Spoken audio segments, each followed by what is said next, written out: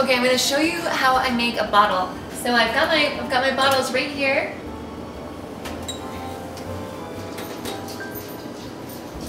Then I just put it in like this, grab it, and then just pull it down.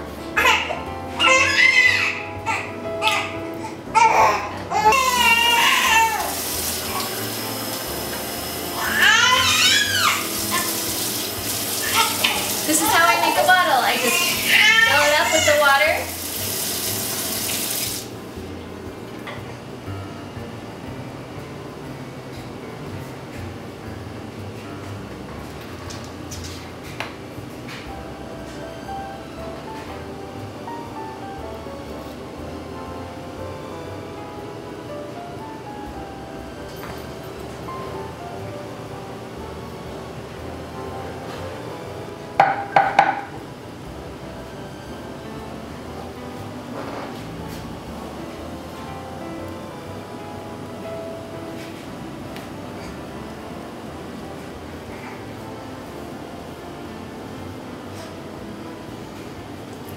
And now we're ready to eat.